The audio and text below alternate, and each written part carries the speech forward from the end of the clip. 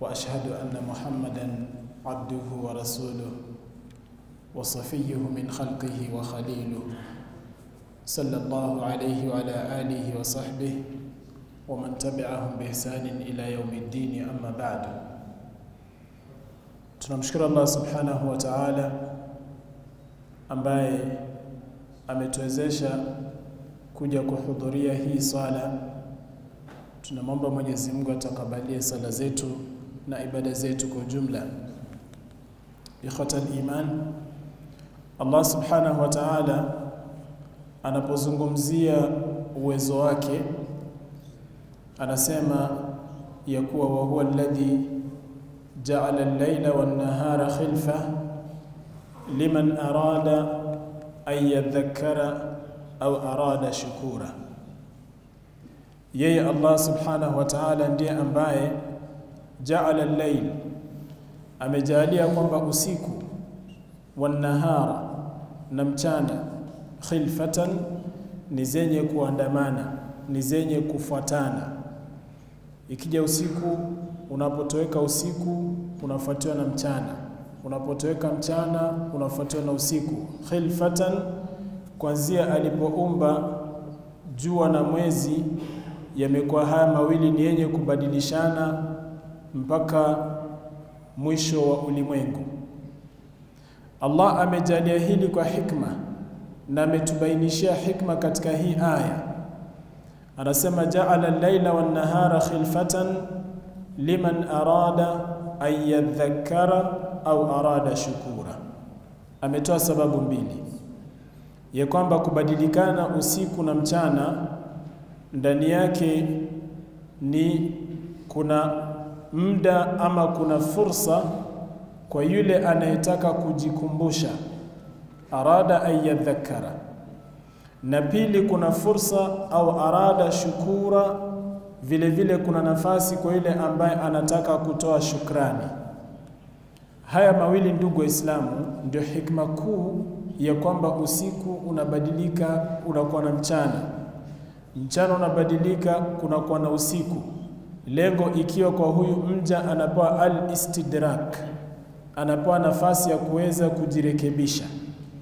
Iwapo kuna jambo ambalo pengine wakati wa usiku haukuweza kufanikisha, basi una fursa mchana. Ikiwa mchana umepitwa, kwa sababu nyoyo za wanadamu hubadilika. Kuna kipindi ambapo moyo wa mtu unakuwa na nishati. Kuna kipindi wakati fulani moyo unaingiwa na uvivu na ulegevu. Allah anabadilisha nyakati hizi kwa sababu ndani yake kuna istidrak ya kuwa ikiwa kipindi kilichotangulia ulipatwa na udhaifu fulani, basi wakati huu ni muda mwingine tofauti na hali yako tofauti, angalau patiliza.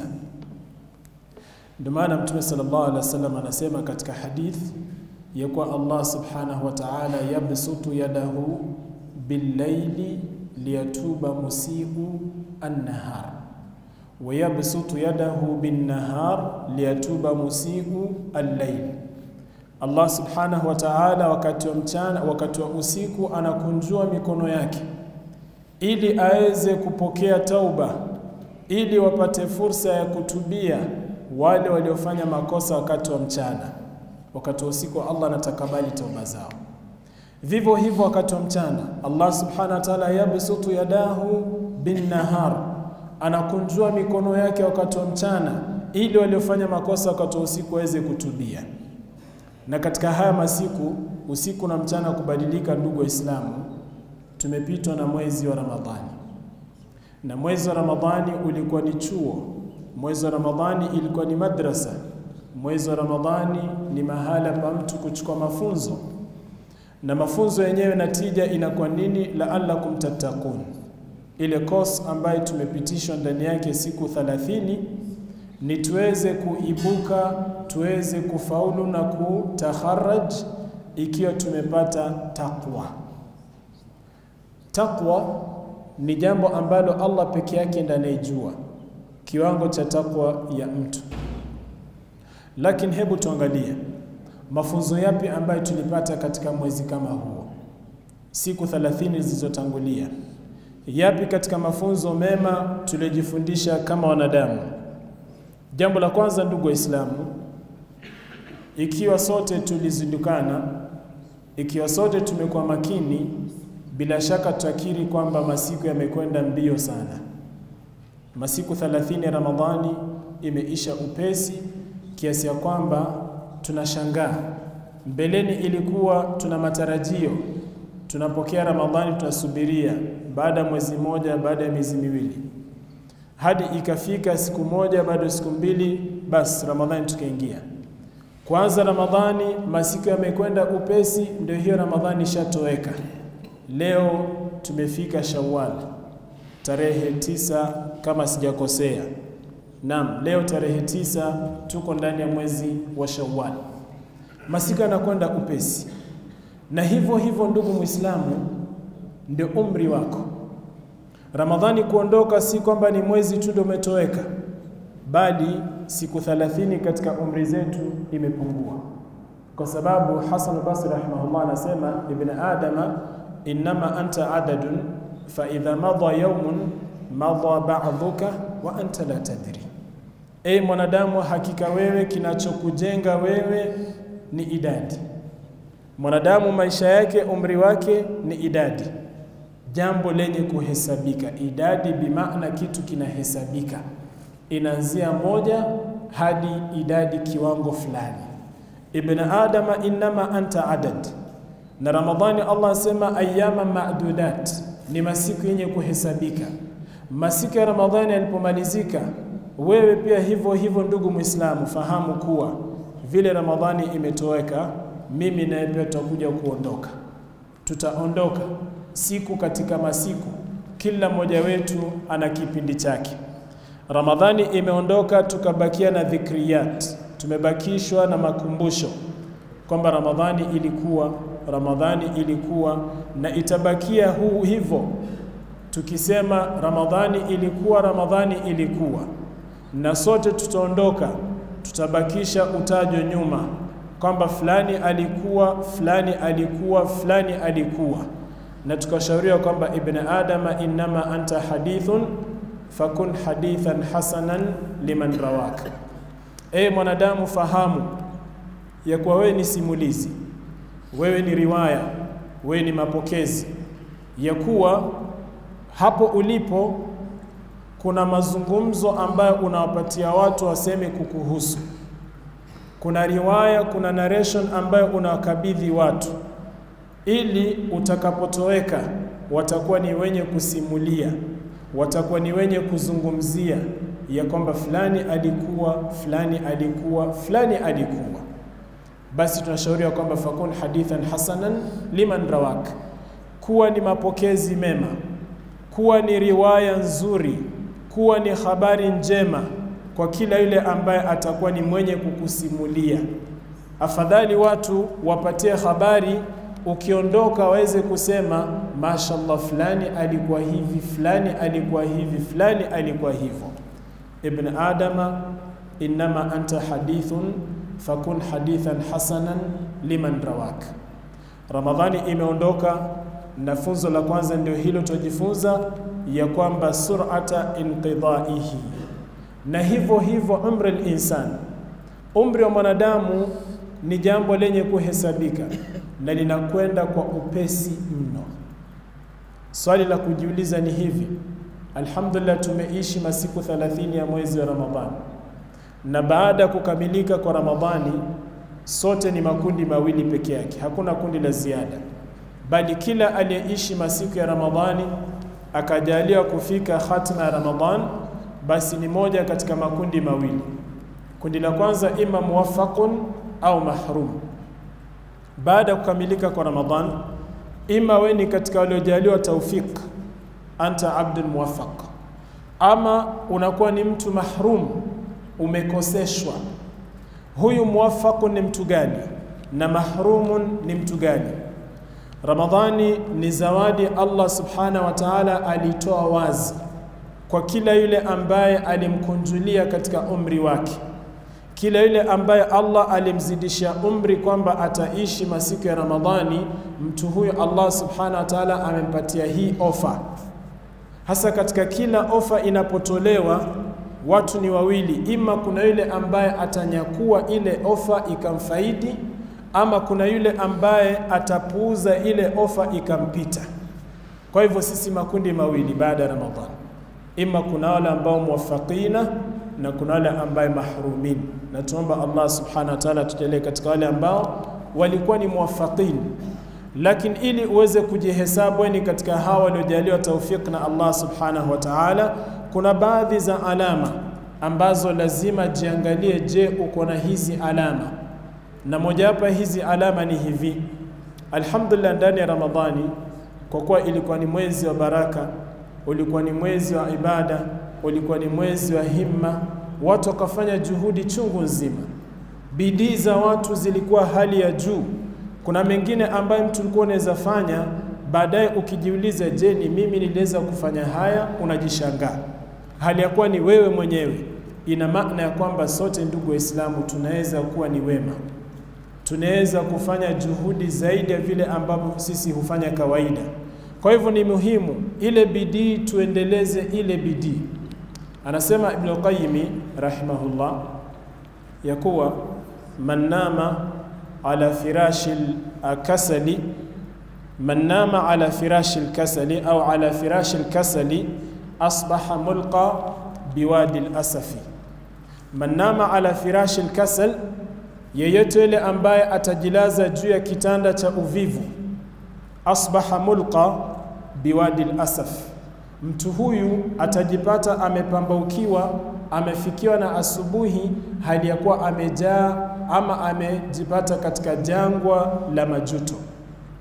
Manama ala firashi lkasali asbaha mulqa biwadi lasaf, wewe utajawa na majuto kwa sababu ya nini? Ya kufanya uvivu wewe mwenyewe. Kisha akasema aljiddu kullahu haraka, jitihada kwa ujumla ni mtu kutaharuki. Bidii lazima kiwe ni kitu chenye kuendelea walkasalu ama kinginecho, anasema upande pili, alkasalu kullahu sukun, aljiddu kullahu haraka, walkasalu kullahu sukun. Jitihada zote inahitaji mtu kutaharuki, bali uvivu wote ni pale mtu unapotaka kutulia. Kuna wale ambao wameingiwa na mawazo ya kuwa ndani ya Ramadhani, maadamu tumefanya bidii sana, sasa baada ya Ramadhani tunahitaji mapumziko, wanachukua mapumziko, waliyadhu billah. Kuna wale mpaka wanachukua mapumziko katika ibada, mtu ya kuwa mimi maadamu niliswali qiyamul layl katika ashrul awakhiri, nikasimama masiku yote yale ya mwisho, basi hamna tatizo, nahitaji kuchukua mapumziko kidogo. Mtu huyu swala za jamaa hatohudhuria mtu huyu hatofanya bidii zozote. Sababu nini? Anasema kule nilifanya juhudi kubwa. Basi huyu tunamwambia huyu mtu kwa kauli Ibn Qayyim rahimahullah ya kwamba huyu manama ala firashi lkasali asbaha mulqa biwadi lasafi, aljiddu kullahu haraka walkasalu kullahu sukun. Mtume sallallahu alayhi wasallama ili kutufundisha na kutuepusha na mtindo huu ambao leo imekumba umma wa Kiislamu, ya kwamba juhudi zetu ndani ya Ramadhani inakuwa hima iko juu. Baada ya Ramadhani kuondoka, hima zetu zinapungua, misikiti ya watu wanapungua, haelewekani tena misikitini, ibada watu wanapunguza juhudi katika ibada. Mtume sallallahu alayhi wasallam akahimiza akasema, e mwanadamu, usio yule ambaye lao Allah amekujalia taufiki kwa jambo lolote la kheri, kisha baadaye unakuwa ni mwenye kujizu, kujirudisha nyuma. Akitoa nasaha kwa moja katika vijana wadogo wa kisahaba Abdullah bin Amr bin al-As radhiyallahu anhuma, Mtume anamwambia ya Abdullah, la takun mithlu fulan kana yaqumu min al-layl thumma taraka al-qiyam. Ewe Abdullah, bali nasaha kwetu sote Mtume asema la takun mithlu fulan. Mtume hakumtaja jina, usiwe mfano wa mtu fulani ambaye Mtume alijua kwa hakika kuna fulani ambaye kana yaqumu min al-layli thumma taraka al-qiyam, alikuwa anasimama wakati wa usiku akiswali kisha akaacha ibada kama hiyo. Ikiweni katika wale ambao walisimama qiyam ya Ramadhan imanan wa ihtisaba, la takun mithlu fulanin alladhi kana yaqumu fi ramadhana thumma taraka hadha alqiyam, usiwe mfano huyu mtu ambaye alikuwa akisimama masiku haya ya Ramadhani, masiku bora, kisha baada ya kuondoka kwa Ramadhani yeye pia akaacha ibada sampuli hii. La takun mithlu fulan kana yasum, si kauli ya Mtume, bali ikiwa tulifunga mwezi wa Ramadhani, tusio wale ambao tulifunga Ramadhani kisha baada ya Ramadhani kuondoka tumekuwa ni watu ambao hatufungi kamwe. Sasa Mtume sallallahu alaihi wasallam asema sama ramadana thumma atba'ahu sita min shawwal kana kasiyami dahar, ikiwa ulijaliwa kufunga mwezi wa Ramadhan kisha ukakamilisha mwezi wa Ramadhan ukafuatiliza masiku sita katika mwezi huu wa Shawwal.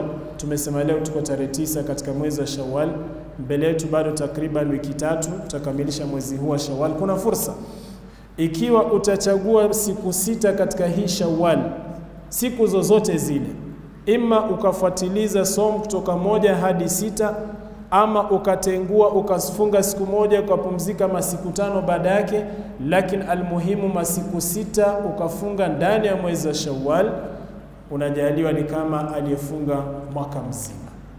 Tusio tulifunga Ramadhan tukakatiza saum mpaka tukisubiria Ramadhani nyingine. Nani aliye na uhakika kwamba ataipata Ramadhani nyingine? Hamna, bali tunayo fursa leo hii ya kwamba katika mwezi wa Shawwal kuna somo ambayo tumehimizwa funga masiku sita katika mwezi huu wa Shawwal. Tusiwe wale ambao tulijaliwa ibada katika mwezi wa Ramadhani, kisha baada ya kuondoka Ramadhani tunakuwa ni wenye kukiuka na kugeuza mienendo yetu. Ndio Allah subhanahu wa ta'ala akiwa nadi anasema, ya ayyuhalladhina amanu atiu Allah wa atiu rasul wala tubtilu a'malakum, enyi mlioamini mtini Allah subhanahu wa ta'ala, mtini Rasulullah sallallahu alayhi wasallam, wala tubtilu a'malakum, wala musiwe ni wale ambao wanaziharibu amali zao. Mojawapo ya njia ya mtu kuharibu amali yake ni vipi? Wakati umejaliwa taufiki, umejaliwa nafasi, umeweza kufanya ibada ama amali sampuli fulani, baada ishakuwa ni nyepesi kwako kufanya amali kama ile, kisha baada yake tankasi unafanya nini? Unageuka, unapinduka, ni kana kuwa mtu ambaye hakuwa katika ile ibada kamwe. Tusiwe sampuli hiyo. Kuharibu amal ni pale ambapo ukageuza mienendo yako baada Allah ashakufungulia mlango wa kheri, we mwenyewe unafunga ule mlango. Ikiwa mlango wa somo ulifunguliwa, usifunge mlango wa somo, endelea na ibada ya sunna, ibada za somo za sunna. Ikiwa ibada ya qiyamu ilifunguliwa katika mwezi wa Ramadhani, kwa sababu Ramadhani tumesema ni chuo, na chuo chochote ambacho mtu napitia, training yoyote ambayo mtu napitia, bila shaka natija yake inaangaliwa baada ushatoa katika ile training. Je, utadumu katika yale mafunzo uliojifundisha ama utaacha yale mafundisho, kando kisha ukarudi katika hali yako uliyoko ndani yake mbeleni? La, bali unafaa kuendeleza. Ndio maana Mtume sallallahu alaihi wasallam katika hadithi nyingine, Abdullah bin Sarjis radhiallahu anhu anasema kuwa kana sallallahu sallallahu alaihi wasallam yakulu fi safari, alikuwa mtume akisema katika safari zake haya maneno, Allahumma inni a'udhu bika min wa'thai safar wa ka'abati almunqalabi ba'da alkawr min alhawri ba'da alkawr wa min da'wati almadhlumi wa min su'i almanzari fi alahli walmal Mtume sallallahu alaihi wasallam katika hadithi hii alikuwa akisikika kila mara akisema akiwa safarini, anaomba Allah subhanahu wa ta'ala kinga kutokamana na vitu vitano. Katika haya matano mojawapo, min alhauri ba'da alkaur, alhaur ba'da alkaur. Maulama wa hadithi wanaelezea, wanasema alhauri ba'da alkaur, yani min alziyada ila nuqsan anamwomba Mwenyezi Mungu Subhanahu wa Ta'ala amkinge asiwe ni yule ambaye baada ameshajaliwa ziada katika jambo fulani kisha anarudi katika nuksani, katika mapungufu. Ikiwa umejaliwa ziada katika ibada ndani ya Ramadhani, mwombe Allah Subhanahu wa Ta'ala asikurudishe katika mapungufu baada ya Ramadhani kuondoka, au min alfasadi au min alsalahi ila alfasadi, baada ya kuwa ushatengenea moyo wako amali zako zishatengenea, madhambi ushafutiwa, mbona tena urudi katika uchafu ule ambao ulikuwa ndani yake kabla ya Ramadhani? Kwa hivyo kuna haja ndugu Waislamu, tuwe na aljidia kwamba tufanye juhudi, tufanye bidii. Ramadhani imeondoka ndiyo, lakini yule Mola ambaye tuwataka radhi zake katika Ramadhani angali yuko hai. We madamu bado uko salama, uko hai hapa dunia, hujasalimika na fitan za dunia. Mumin hafai kuchoka. Tumesema almuminu, mumini huyu haezi choka hata yakuna muntahahu aljanna, mpaka mwisho wake inakuwa katika janna. Imam Ahmad bin Hanbal rahmatullahi alayhi aliulizwa, mata raha, wakati gani mtu anafaa kuchukua mapumziko? Ya kwamba mimi nimefanya ibada chungu nzima, hivi sasa nahitaji mapumziko. Alipoulizwa, je, wakati gani mata rahatu? Akasema hata yakuna qadamuka fil janna, hata takuna qadamuk fil janna. Mumin haufai kupumzika mpaka pale ambapo mguu wako utakuwa tayari umeshakanyaga ndani ya janna. Hapo ndio kweli unafaa kupumzika sasa. Wa'bud rabbaka hatta yatiaka alyaqin. Kwa hivyo maadamu tungali na uhai, ndugu Waislamu, tusichoke katika kumdhukuru, tusichoke katika kutafuta radhi za Mola wetu subhanahu wa ta'ala, hasatan baada ya kuwa tumepitia kipindi cha Ramadhani siku 30 tumepata tadribi ya kutosha tumepata yani training ya kutosha. Kwa hivyo tujaribu himma himma, tuendelee na training hii, yale mafunzo tuliyopata tuweze kutekeleza, na Allah subhanahu wa ta'ala aturuzuku husna al-khatima. Subhanaka Allahumma bihamdika ashhadu an la ilaha illa ant astaghfiruka wa atubu ilaik wa jazakumullahu khair. Assalamu alaykum wa rahmatullahi wa barakatuh.